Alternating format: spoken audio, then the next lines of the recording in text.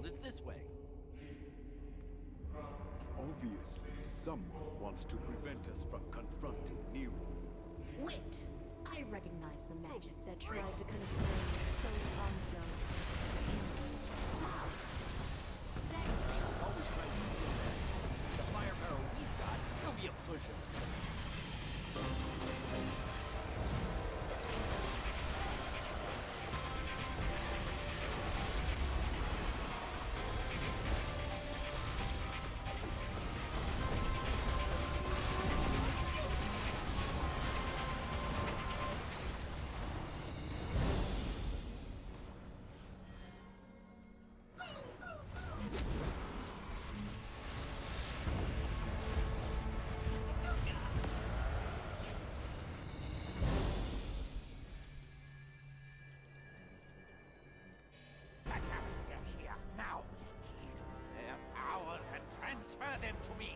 I know tricking people is like your whole deal, but Neron's way better at it than you. And I was stealing his powers when I made that deal.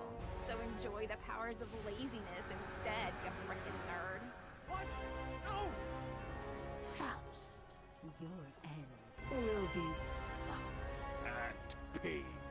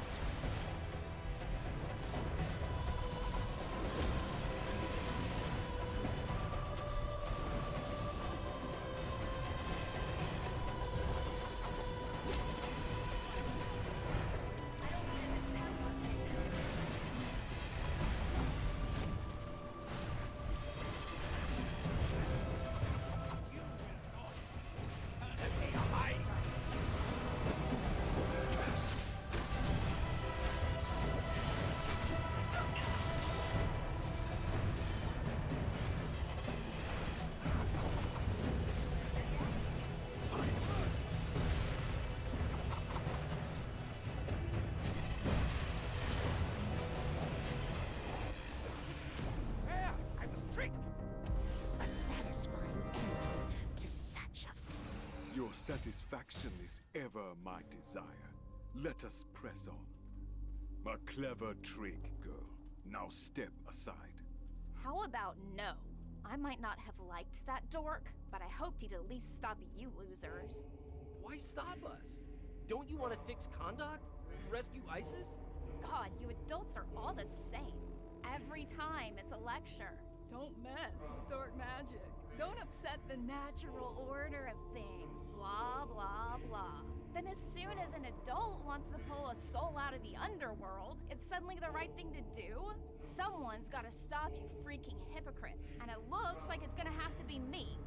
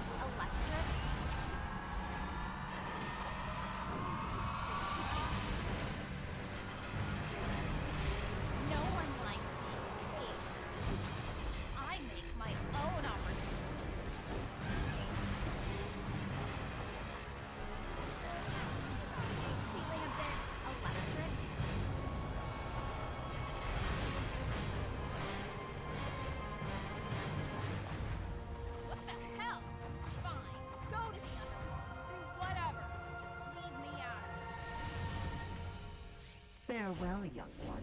We may have bested